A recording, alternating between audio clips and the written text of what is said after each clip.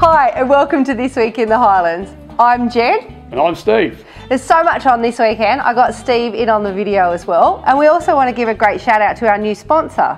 Yeah, we do. Southern Highlands Taxis and Limousines. So welcome, Laurie, and thank you for joining us as a partner. Yeah. Now, we have the Southern Highlands Food and Wine Festival here in Corbett Gardens over the weekend. What are the details? Great weekend to be in the Southern Highlands for both locals and also for visitors to the area. The fifth Southern Highlands Food and Wine Festival in the gorgeous backdrop of Corbett Gardens with all the tulips still in bloom right through to this weekend.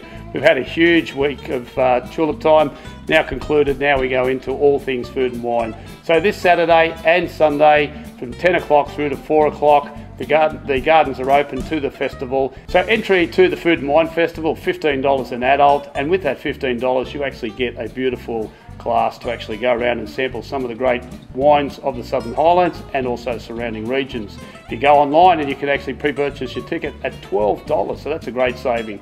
Children under 17, free to come on in. Great attraction actually this weekend with a celebrity in Paul West from the River Cottage uh, cooking demonstrations. You can meet Paul, and uh, he's a great fella if you haven't been watching uh, the Lifestyle Channel. Uh, somebody that you should come and meet here in uh, the Food and Wine Festival. He's also going to do some book signing, and also our local radio station 2ST. Uh, Angela's going to be there comparing live broadcast on the Saturday from Corbett Gardens. So make sure you get in there and say good day to Angela. And there's lots of other entertainment right throughout mm. the weekend. Yeah, plenty, plenty going on in there. Um, so it's going to be a great festival. So we wish them all the best of luck. Now, there's lots of other things over the weekend. Of course, we have the regular markets. So Saturday will be Exeter and Colo Vale, and Sunday will be the Bundanoon markets as well. Uh, the Burrumbuttock Hay Runners. Now, the gala dinner on Saturday night is already sold out, which is a fantastic effort of this team, but they are always looking for more donations. So, if you want any more information on these great guys that take their trucks full of hay to go and help the other farmers, um, Jacob's the local here, and I can put you in touch with with, with them.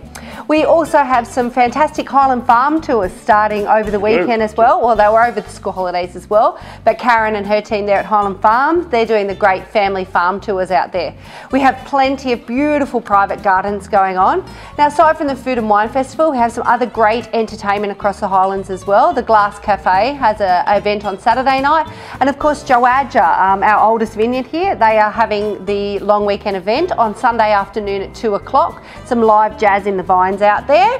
What else do we have? The Exhibitions. Oh, oh, so much going you, on. I'll tell you one that's really good, and that's where I'll be at, is actually the Southern Highlands Rugby Sevens. I think ah. it's now the actual fifth year. Started out with Tulip Time as an event a few years ago, but it's a standalone signature event now, Jen. And if you're into rugby or anything sporting, it's a great spectacle. 76 teams. Yep playing rugby sevens. And we know that we won gold medal in the Australian women's rugby in, in the Olympics yep. recently.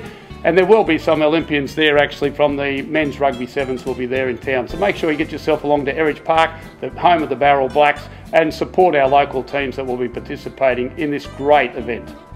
We love bringing you the weekly clips. Check the website for more details or keep watching This Week in the Highlands.